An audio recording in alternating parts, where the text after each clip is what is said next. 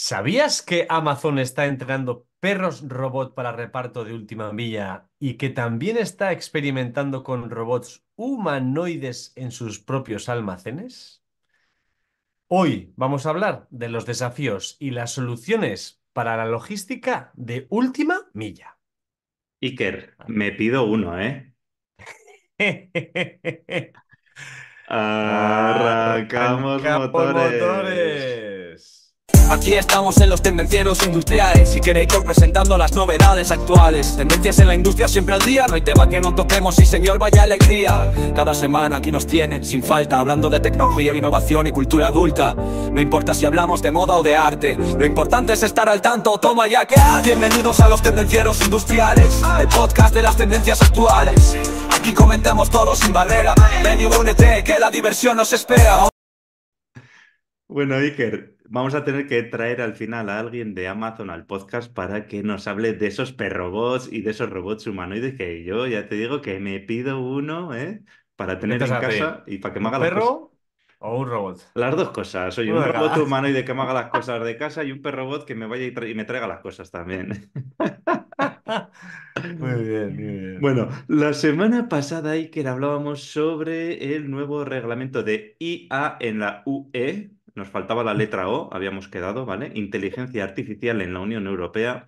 Y muy interesante porque vimos que hay algunos sistemas de inteligencia artificial que están prohibidos, prohibidísimos en la Unión Europea. Hay otros que están sujetos a regulaciones y a evaluaciones. Y también hay otras inteligencias artificiales que se pueden utilizar libremente. La verdad es que el podcast es muy interesante y a mí me aclaró un montón de conceptos sobre este tema. Además, también me estoy acordando ahora que empiezan las multas para los que no cumplan a partir del 24 de noviembre del 2024, o sea, de este año, dentro de unos meses. Bueno, Iker, tenemos pregunta para ti. Bien. Preparado, ¿verdad? A ver, listo. Como estoy. siempre. Naciste, Cuéntame. naciste preparado. Eso es. Vamos con ella, a ver. En ocasiones nos encontramos con clientes que tienen una actitud pesimista o que son críticos, negativos hacia nuestro producto o servicio. ¿Cómo te enfrentas si que era un cliente negativo? Vale, si eso, si entendemos negativo al que está todo el día pues eh, poniendo pegas o está siempre viendo las cosas negativas y nunca ve las cosas positivas, bueno, hay que tener cuidado como siempre y no tomarnos nada personal. O sea, todo lo que pueda decir del producto, de lo que estemos haciendo y demás, pues no, no lo tomemos a personal. Eh, entendamos que la persona es así, que tiene su aspecto, su forma de ser.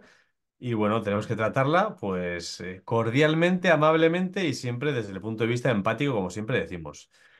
Y una cosa que recomiendo en estos casos es enfocarse en los temas positivos y reforzar siempre las preguntas y hacerlas desde un punto de vista positivo. O sea, si alguien está hablando de forma negativa de algún tema concreto de nuestro producto, pues podamos transformar esa pregunta en, bueno, entendido. Y de, de lo que te estoy enseñando, ¿qué es lo que más te gusta? ¿O qué partes son las que te gustan?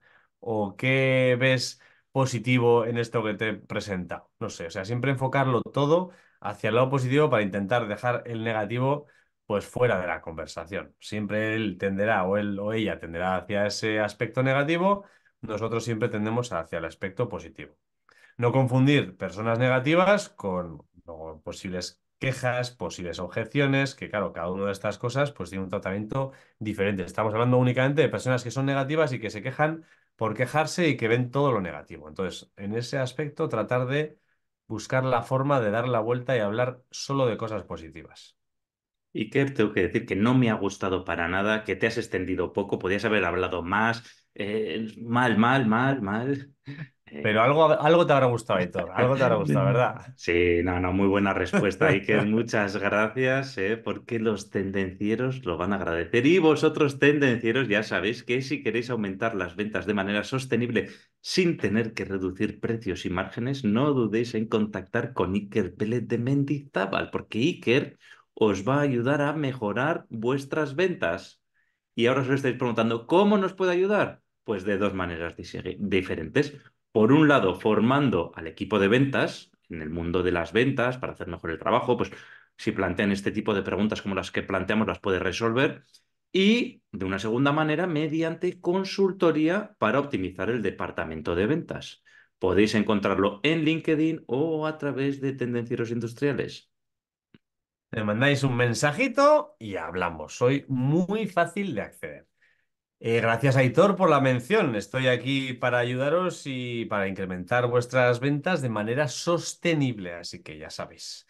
Recordaros que tanto a Aitor como a mí nos podéis encontrar a los dos en tendencierosindustriales.com. También estamos en el Insta, estamos en YouTube y tenemos un canal de LinkedIn conjunto y estamos además en las diferentes plataformas de podcasting, iVoox, Spotify, Apple Podcast. Es muy simple, te unes gratis y sales cuando quieres. Y así no te vas a perder ningún episodio, ni ninguna novedad, ni nada, de nada, de nada. Estarás al día de todo. Además, eh, queridos tendencieros, esto está muy bien. Si queréis mejorar vuestra productividad, que yo sé que este es un punto crítico de todo el mundo, también queréis mejorar el liderazgo normalmente y sobre todo si nos escucháis es porque queréis mejorar también vuestra marca personal. Pues lo que tenéis que hacer es suscribiros ahora mismo en la newsletter de liderazgo profesional. Muy fácil, en liderazgoprofesional.com. Chupado, ¿eh? Además, si queréis ir un paso más allá, en vuestra marca personal, hemos creado un reto de 21 días para mejorar la marca personal en LinkedIn. Todos los detalles en la descripción del episodio. Os lo recuerdo, ¿eh? Atentos. Si no estáis suscritos, entra ahora en liderazgoprofesional.com y apúntate ya. Y bueno, Iker, hoy vamos a hablar de algo que nos encontramos todos los días, ya lo hemos comentado antes, pero ¿Qué es lo que pasa? Que realmente no somos conscientes de ellos. Está ahí, y, pero las cosas no suceden mágicamente, hay algo detrás. ¿eh? Entonces hoy vamos a hablar de los desafíos que representan la logística de última milla. Pero como siempre, Iker, vamos a empezar por las bases y seguramente muchos sepan lo que es, pero algunos no. Entonces explicaremos qué es la logística de la última milla. Puedo decir que esto, la logística última milla, viene del inglés, porque si no sería la logística del último kilómetro. Al final, lo que se refiere a la logística de última milla es al tramo final del proceso de entrega de productos, desde el centro de distribución hasta el destino final, que suele ser el domicilio de la persona que ha pedido esa cosa, ¿no? Este es un tema crucial en la industria, especialmente con el auge del comercio electrónico. Cada vez estamos creciendo más por ahí, con lo cual, pues cada vez tenemos más entregas de última milla. Eh, el auge del comercio electrónico ha transformado significativamente la logística y sobre todo la última milla, redefiniendo pues las expectativas de los clientes. O sea, antes no te imaginabas esto que estamos ahora viviendo, ¿no? Lo Mm. cual obliga a las empresas a adaptarse rápidamente para mantenerse competitivas. Sí, desde, bueno, ya de- desde antes de la pandemia, pero sobre todo en la pandemia y después de la pandemia, el crecimiento del e-commerce, del comercio electrónico, ha sido exponencial, ¿no? Y ha llevado un número, un aumento exponencial del número de paquetes, paquetitos, paquetones que tienen que ser entregados todos los días, ¿eh? ¿Quién no pide cosas para de hoy para mañana en Amazon o en cualquier aplicación que, que tenemos por ahí? Entonces, ¿qué es lo que pasa? Que los consumidores Además, además de pedirlo, pues esperamos también, oye, pues que si nos lo entregas en el mismo día, que si al día siguiente, que si en un horario específico. Entonces ha cambiado mucho y esto ha modificado la logística de la última milla. Además de los horarios de entrega y demás, pues también hay opciones de demanda flexibles, ¿no? Como la recogida en algún punto específico concreto o los lockers. Todo esto está en aumento. ¿Quién no sabe, no? ¿Quién ha recogido en la librería de al lado, pues algún producto en lugar de recibirlo en casa? Además, los consumidores quieren estar informados en cada etapa del proceso de entrega, ya no solo el mail, sino que también queremos actualizaciones en tiempo real de dónde está el paquete desde que ha salido desde el centro de distribución. En definitiva, pues los clientes buscan o buscamos experiencias de Mm. entrega personalizadas que se adapten a nosotros mismos, ya sean los horarios o las preferencias que tengamos. Yo, Iker, me acuerdo antes, ¿eh? cuando te decían, hace unos años, te decían, oye, no, te vamos a entregar el paquete, podías elegir por la mañana o por la tarde. Qué afortunados éramos, ¿eh? Lo, lo que pasa es que ¿y en qué horario? No, de 8 a una o de 3 a 8. Digo, joder, estupendo, no tengo otra cosa más que hacer que estar esperando aquí a que venga el paquete 5 horas, ¿no? No puede ser un poquito más específico. Eh, bueno, pues así era antes y ahora, sin embargo, pues eh, ha cambiado mucho esto y eso obliga, pues, a, a- los desafíos que hemos comentado anteriormente, ¿no? Y además, pues bueno, tenemos las, los ejemplos de el mayor de todo Amazon, luego está Alibaba y otros muchos que nos podemos encontrar por ahí también, que están generando estándares de logística de última milla, o estos estándares, ¿no? De, que al final son una obligación para los nuevos empresas que quieren entrar en, este, en, en esta carrera, ¿no? De la logística de última milla. Pero bueno, además de eso, Iker, ¿Cuáles dirías que son los mayores obstáculos que nos podemos encontrar en la logística de la última milla? ¿Cuáles serían los aspectos más complejos y más costosos de la cadena de suministro? A ver, empieza por alguno. Vale, yo me imagino pues el tema de la congestión urbana. Al final las áreas urbanas densas o densamente pobladas pues Ujú. sufren siempre congestión de tráfico, ¿no? Lo que ralentiza las entregas y aumenta los tiempos de viaje. O sea, si nos imaginamos pues ciudades como Madrid o Barcelona, ¿no? Que pues cualquiera habrá estado en nuestro vehículo eh, transitando por ellas, la, la congestión pues, se puede prolongar, pues eh, vamos, por toda la mañana, lo cual ya no es solo tú, sino que detrás tuyo viene el repartidor que va a prolongar los tiempos de entrega y complicarle mucho la planificación de las rutas. Entonces, las entregas en áreas urbanas normalmente se ven muy dificultadas por la congestión del tráfico, por las zonas de difícil acceso y últimamente ya por las restricciones de, esta- de estacionamiento y restricciones de acceso incluso a ciudades. Sí. Esto, Iker, me recuerda cuando hablamos con compañeros que viven en estas ciudades grandes y dicen, no, no, es que si voy a las 7 a trabajar, ningún problema. Ahora, llego en media hora. Ahora, como vaya a las 8 a trabajar, me cuesta hora y media en llegar. Digo, "Ah, qué locura. ¿Cuántos kilómetros tienes? No, cinco. ¿y ¿Qué tardas? No, media hora. No, media hora rápido y una hora en corto, o sea, en largo. Sí, sí, Madre una locura. Y también hay que decir, Iker, que hemos hablado de las congestiones de las zonas urbanas densamente poblada- pobladas, pero si nos vamos al otro extremo, tenemos las zonas rurales, ¿no? Que aquí, al contrario que en otro lado, está todo demasiado concentrado, aquí está todo demasiado esparcido, ¿no? Entonces aquí los puntos de entrega, pues una casa aquí, otra casa a 10 kilómetros. Entonces esto pues lleva mucho tiempo y mucho gasto de kilometraje, ¿no? De, de los vehículos o de los, de los equipos y de las personas que van a llevar, eh, que van a hacer esa logística. Otro reto que hay, que bueno, a pesar de los jetas estos que existen, que van a las tiendas y se prueban las cosas y luego las piden en online para no fallar la Es talla, un pues truco, es un truco eso. No, esos, esos son unos... Bueno, no voy a decir la palabra porque, vamos, o sea, si vas a una tienda y te pruebas algo y te gusta, te lo compras allí. No seas cutre salchichero, que tengo algún amigo que tiene una tienda, que ya lo último, lo último es eh, ir a regatear a las tiendas, que ya es la pera limonera y todo. O sea, ya es... eh, no, es que lo he visto en internet por 70 euros y tú lo vendes por 80. Ah, tío, no me toques las pelotas. O sea, si me lo pones a 70 te lo compro. No, mira. O sea, bueno, sin más. Que me caliento. Entonces, hay gente normal que lo que hace es pedir por internet y, claro, si no le vale, pues tiene que devolverlo, ¿no? Entonces, claro, un reto son la gestión de las devoluciones, porque al final las devoluciones de productos, pues son muy comunes en el e-commerce y, claro, es un desafío adicional, ¿no? Ya no solo la entrega, sino también la recogida. Entonces, claro, esta gestión requiere procesos eficientes para recoger, procesar y restocar estos productos, ¿no? Lo cual, pues, añade una complejidad y un coste logístico muy alto a, a la entrega de última milla. Y claro, si hablamos, por ejemplo, de moda online, pues eh, te puedo contar, editor, que las tasas de devolución pueden llegar a superar el 30%, con lo cual gestionar sí. las devoluciones es, es crucial. Es todo un reto, sí, sí, que se lo pregunten a mi mujer o a otras personas que hay por ahí también, ¿eh? Que La devuelve, ¿no? logística, la logística inversa que le llaman. Bueno, ¿qué más desafíos tenemos por ahí? Pues tenemos las regulaciones sobre el tráfico que has comentado, las regulaciones sobre las emisiones, las regulaciones sobre las horas de entrega que pueden entrar los vehículos a una ciudad o a una zona determinada de la ciudad, que además estas regulaciones pueden variar, o sea, porque no hay un espacio, no, no, estas re regulaciones son para todo el espacio económico europeo, no, no, es que son para todo el país, no, no, no, es que son para toda la comunidad, no, no, es que estas regulaciones son por localidades incluso. Entonces, al final, esto complica un montón el, el saberse las diferentes regulaciones que tienes en cada localidad.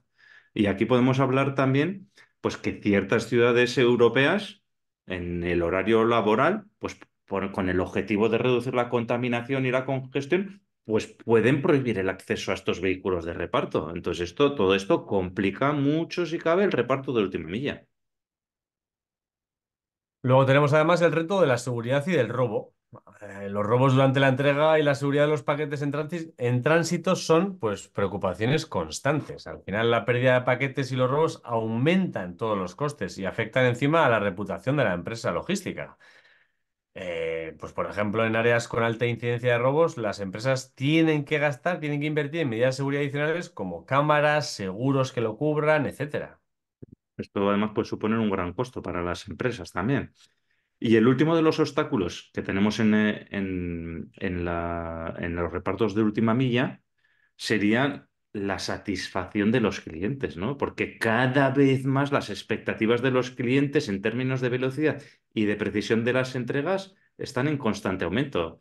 Dice que a quién no, ha- a, quién- a quién no le ha pasado, ¿no? Que es- estás cerca de casa, pero no estás en casa. Viene el repartidor, llama a la puerta, no estás, y resulta que el repartidor luego te llama por teléfono y te lo acerca donde estás también, con el fin de finalizar esa entrega, porque le supone más el llevárselo que el buscarte si estás cerca y entregártelo, ¿no? Entonces, eh, la satisfacción del cliente es uno de los obstáculos, uno de los desafíos que nos encontramos en la logística de la última milla. Y todo esto, además, porque se ha popularizado pues, con los servicios como los que puede dar Amazon Prime, ¿no?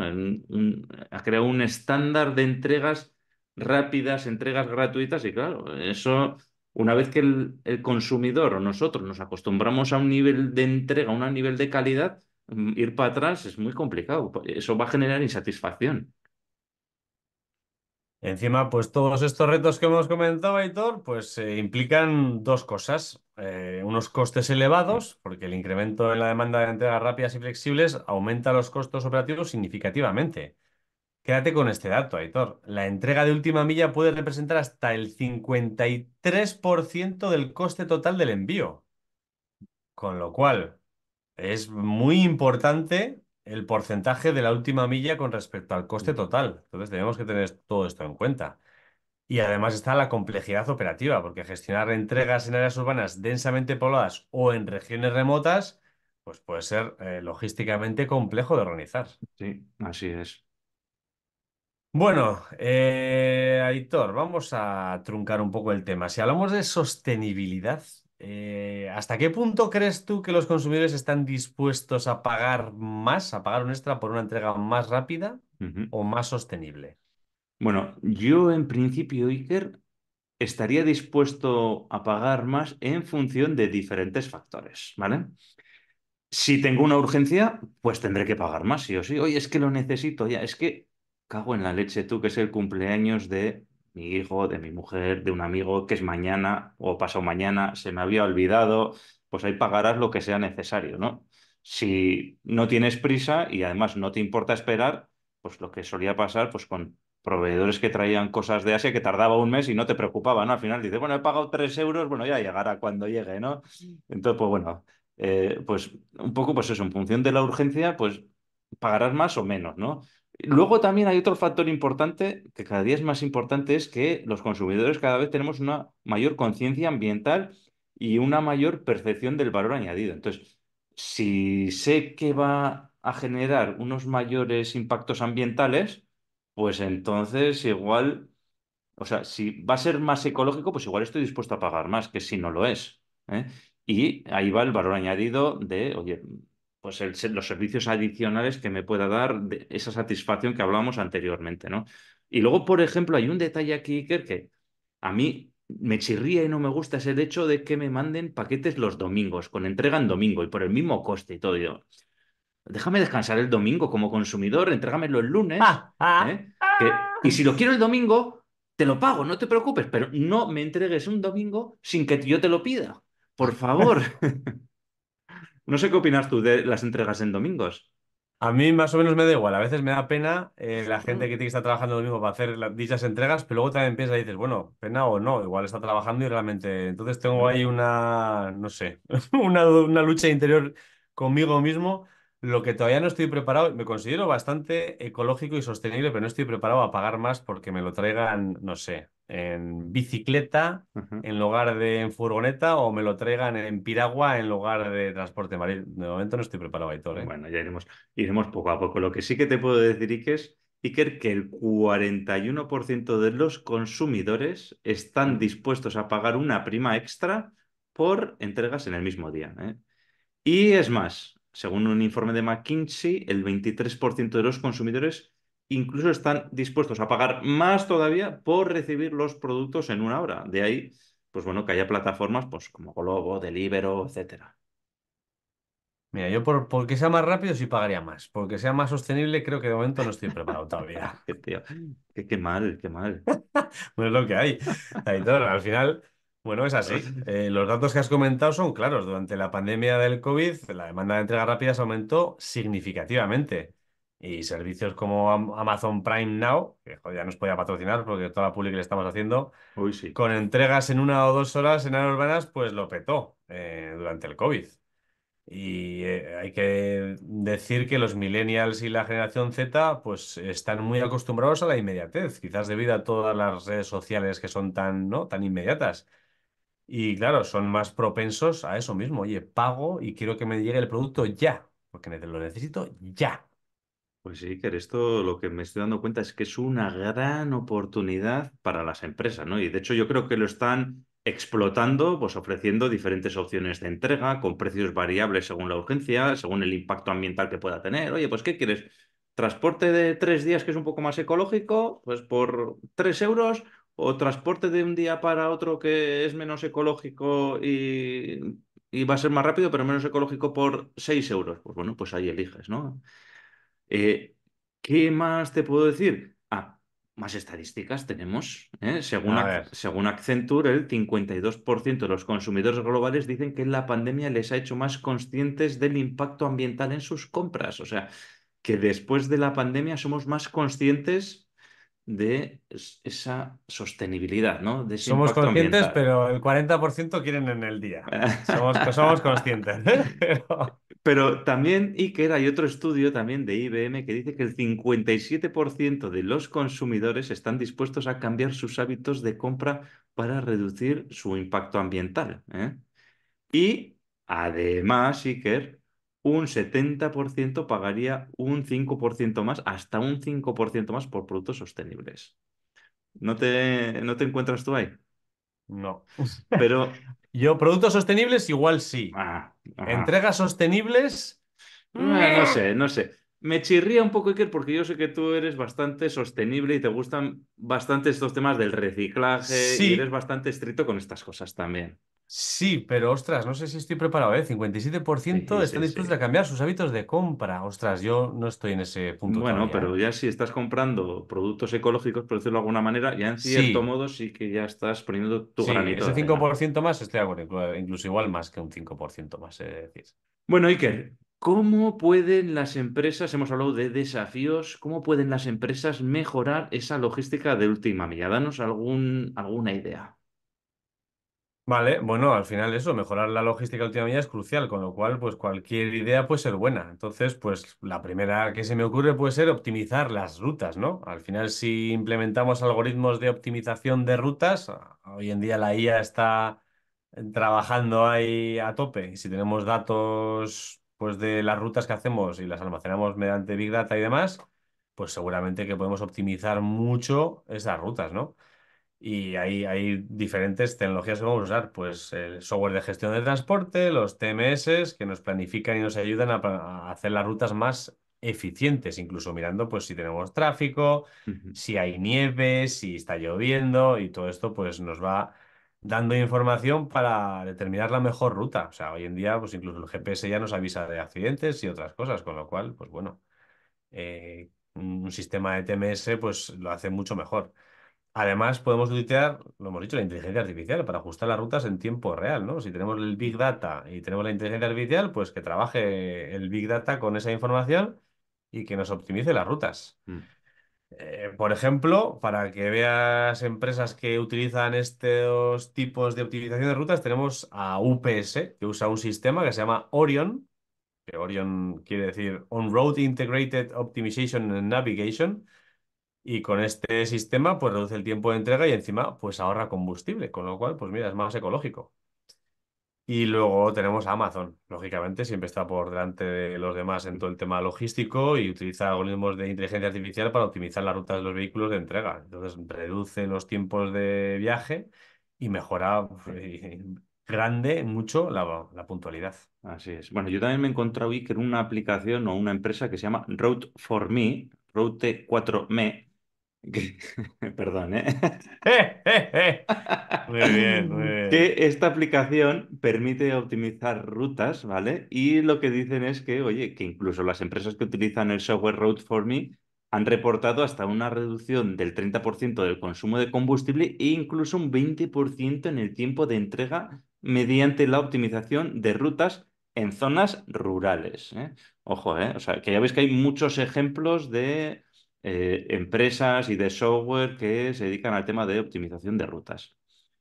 ¿Qué más podemos hacer? Pues bueno, las empresas pueden crear pequeños microhubs urbanos, ¿no? Que son pequeños centros de distribución en áreas urbanas para reducir esa distancia de entrega. Entonces, al estar más cerca del consumidor final, pues se reducen los tiempos de entrega, se evitan los recorridos largos dentro de la ciudad. Y un ejemplo de esto, pues puede ser DHR, que utiliza microhubs en ciudades pues, como Londres, Berlín, y esto mejora su eficiencia en las entregas urbanas.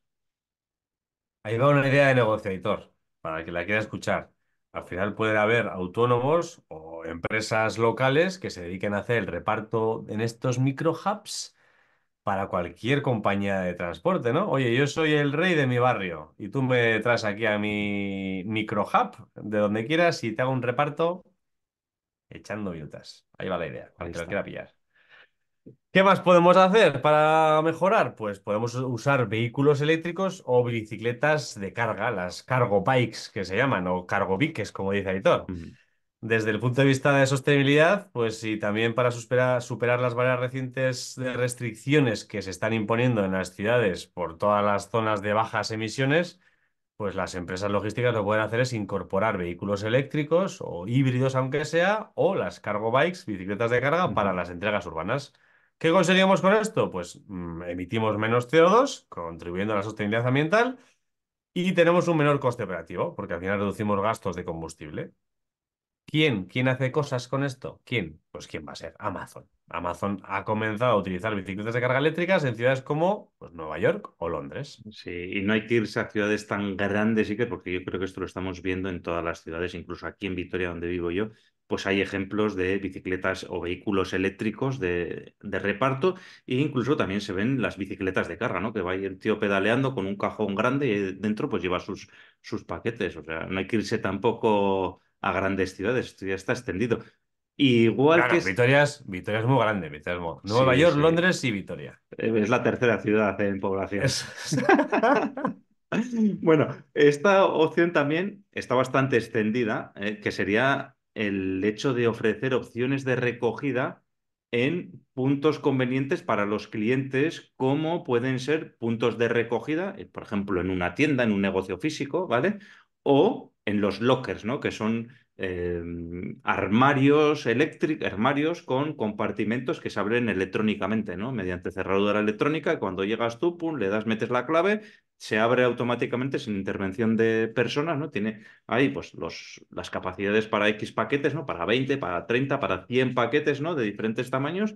Y ahí cuando llegas, pum, se abre la trampilla y coges tu paquete y luego lo cierras y ya está, ¿no? Esto es un ejemplo de ello es Amazon, pero bueno, también correos, ya y, y- y yo creo que cada vez más, pues todas estas empresas de logística están implementando estos lockers muy cerquita de los consumidores finales.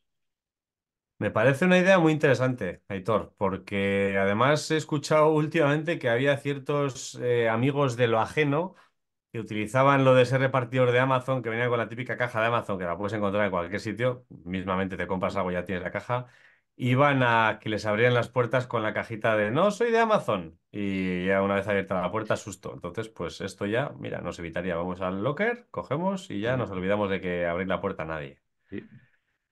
¿Qué más temas? 24/7 además, ¿eh? Sin ningún problema. Efectivamente. Lo recoges cuando te viene bien.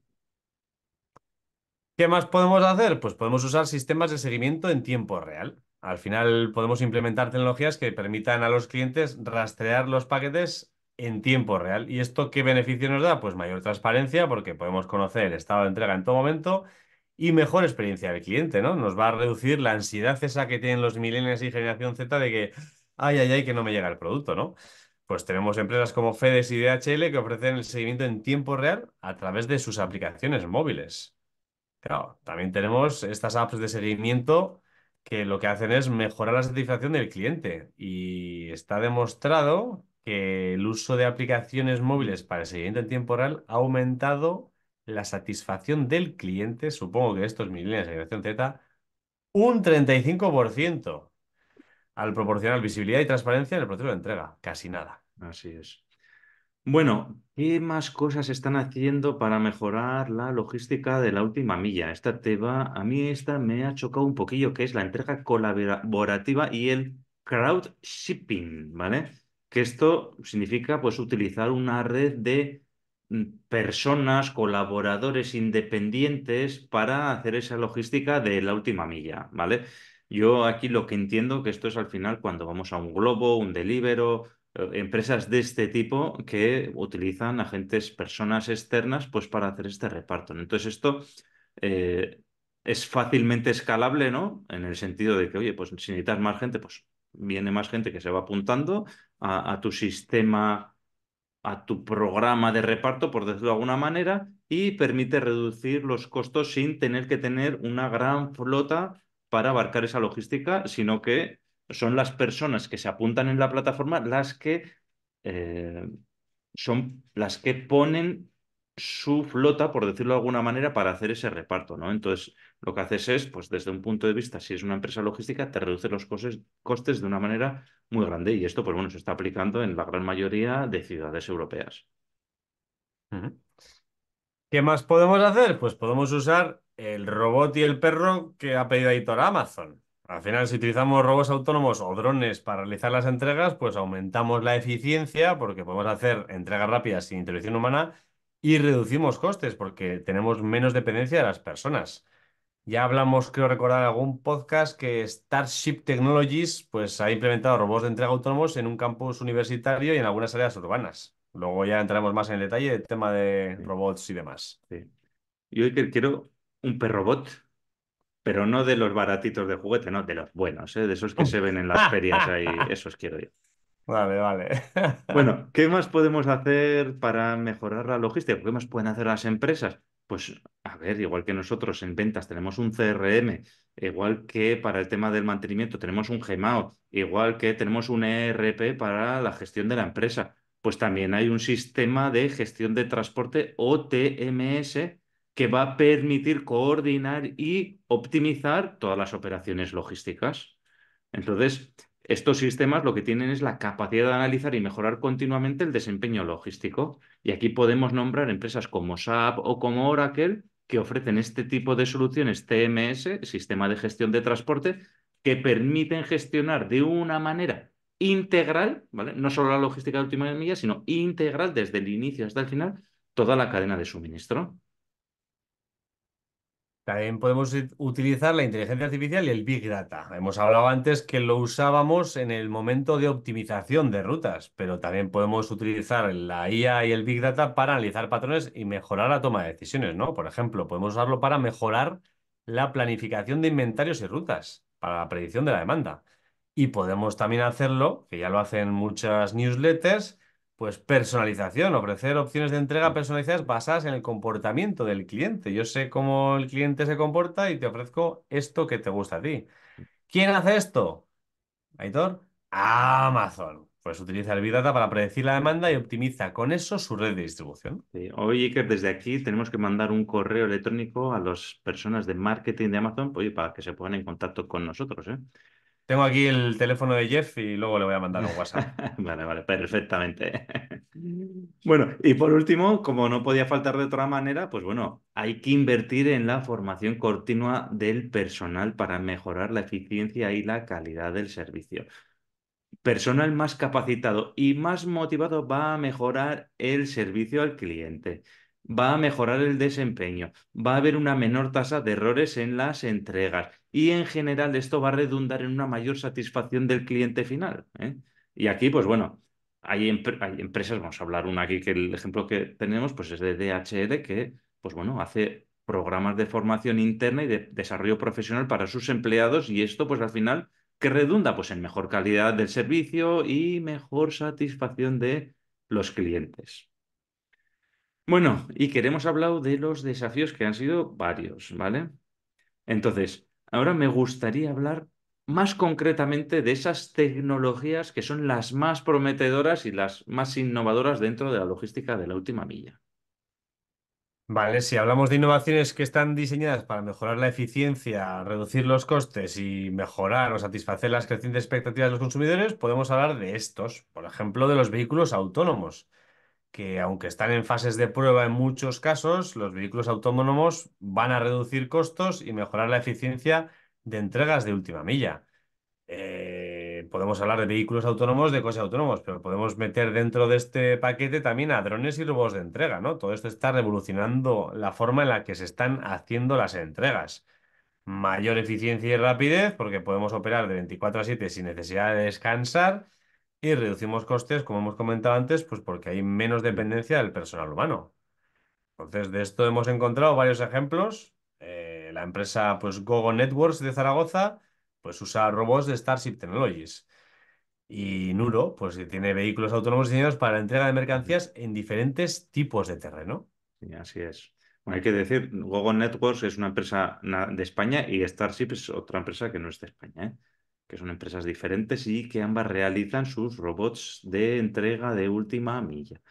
Y también tenemos los drones de entrega, que también tenemos ejemplos. ¿eh? Tenemos el caso de Amazon Prime Air, ¿vale? Tenemos el caso de Wing, que es de la empresa Alphabet, de Google, ¿eh? la matriz de Google. Y en el caso de Wing, o sea, estos han estado operando en Australia y ¿sabes cuántos vuelos han podido hacer? ¿Cuántas entregas, más que vuelos, estos de Wing? Ni idea. Pues han realizado más de 100.000 entregas con drones en áreas rurales de Australia. Ahí, ¿cómo te quedas?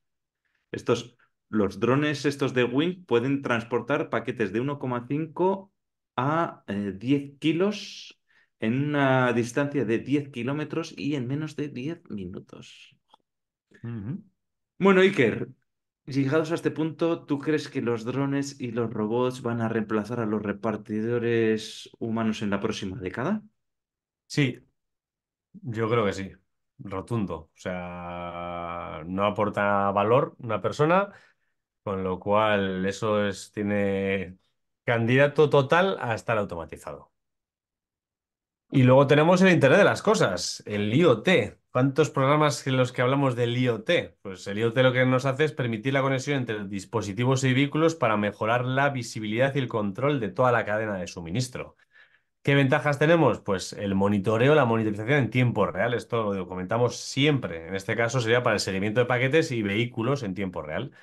¿Y cómo usamos esto? Pues para lo de siempre también, para el mantenimiento predictivo. Prevención de fallos mediante el monitoreo constante de las condiciones de los vehículos. Bueno, pues por ejemplo, UPS tiene sensores en los vehículos y utiliza la IoT para optimizar las rutas en tiempo real. Incluso, pues eh, además se podrían instalar dispositivos de IoT, de temperatura, pues de cualquier cosa para monitorizar, si queremos, pues eh, el estado de los paquetes. De la carga, eso sí, por ejemplo, en, ya lo hablamos en cuando hablamos de, ¿cómo era? El podcast que hablamos. Sensores de, IoT. Eso, sensores de IoT, pues para monitorizar la carga, que no se rompa la cadena de frío en un transporte, etcétera, etcétera. Sí, sí, sí, muy hmm. interesante. La verdad que para mí estos tres puntos que hemos tratado son los más interesantes, así para más que se salen del tiesto, ¿no? Para hablar de la logística de última milla. Luego están pues, la inteligencia artificial, el Big Data, etcétera, pero bueno, ya lo hemos comentado anteriormente. Por último, Iker, hay que comentar también que no nos podemos olvidar de las zonas rurales, ¿no? En el reparto de última milla. Y aquí, como datos fundamentales, es que en las áreas rurales las distancias de entrega son en promedio un 50% más largas que en las zonas urbanas. Y esto aumenta los costes del reparto de última milla en comparación un 40%. Y luego hay que decir también que la frecuencia de entrega en zonas rurales también suele ser menor, que suele ser aproximadamente un 30% de los consumidores que reciben entregas semanales en comparación con el 70% de los consumidores que reciben paquetes semanales en zonas urbanas. Claro, aquí hay que buscar la imaginación y, por ejemplo, una de las ideas de las acciones que están realizando en las zonas rurales es las asocia- asociaciones entre empresas de logística y las cooperativas locales, ¿no? Por ejemplo, a nivel nacional tenemos muchas cooperativas locales y estas cooperativas que normalmente suelen ser agrarias o relacionadas con lo agrario, pues pueden utilizar la redistribución de esas cooperativas para entregar bienes que no sean suyos propiamente dicho, ¿no? Entonces, oye, haces una colaboración y yo colaboro contigo y tú entregas, pues eso, al final hemos más o menos como el micro hub que hemos dicho, pero pues con una Sí. cooperativa. Y con esto tenemos una ventaja que es clara, el uso de una infraestructura y el conocimiento local, porque la cooperativa lo conoce y además fortalecemos la economía local, con lo cual es un win-win. Sí, la verdad es que esta opción es una alternativa muy interesante en zonas rurales para la logística de la última milla. Lo cierto es que sí.